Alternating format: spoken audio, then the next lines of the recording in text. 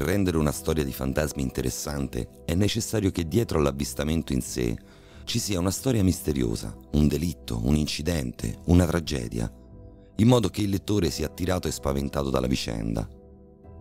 Un racconto di spettri senza uno di questi ingredienti rischia di essere noioso e monotono, tranne se il tranquillo fantasma che vaga per la città più esoterica che esista non sia Camillo Benso, conte di Cavour. La città di Torino è da sempre legata a miti e leggende riguardanti sia la magia bianca che quella nera, tanto da essere chiamata la città magica. Per cui non sorprende l'alto numero di avvistamenti di fantasmi, ma tra questi ce ne sarebbe uno in particolare che ha destato molta curiosità. Siamo nel pieno centro di Torino, più precisamente nella piazza antistante il municipio. La piazza ha un bel colonnato austero, come peraltro il resto della città, ed è quasi completamente occupata dall'imponente edificio. In questo punto della città ci sarebbero stati ben 16 avvistamenti di uno spettro con abiti di foggia ottocentesca, che nell'aspetto riguarda una persona molto conosciuta nella capitale sabauda. Questa è l'anima del fu Camillo Benso, conte di Cavour. In tutti i 16 avvistamenti il fantasma si trova nello stesso luogo e fa sempre le stesse cose, passeggia sotto ai portici tra uffici del comune e l'ingresso del palazzo civico, scambia due chiacchiere con i passanti e sparisce nel nulla. Il 4 novembre del 2019 pare che si sia verificato l'avvistamento più clamoroso durante la consueta chiacchierata con i passanti.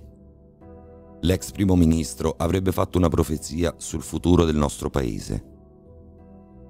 Non è unusuale che uno spettro predica il futuro o racconti fatti storici, poiché si dice che i fantasmi conoscerebbero molto bene sia il passato che il futuro, ma avrebbero difficoltà a riconoscere il presente.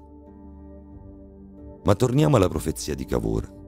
Il politico avrebbe parlato, rivolgendosi in francese ad una signora, del futuro della politica italiana, profetizzando che entro pochi anni la nostra Repubblica avrebbe avuto un presidente del Consiglio donna.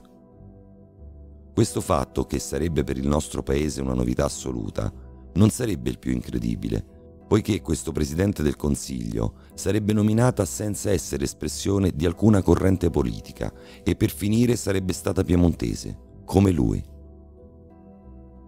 In un'altra occasione Cavour avrebbe lasciato cadere un oggetto, una moneta antica risalente al 1849, il periodo della Repubblica Romana, e si dice che chi l'ha fatta analizzare avrebbe confermato questa datazione di molti fantasmi che abbiamo incontrato e che incontreremo, questo è uno dei pochi ad essere morto pacificamente nel suo letto, non come la vicenda sempre legata a Cavour del fantasma di Nina Giustignani che in vita fu la sua amante.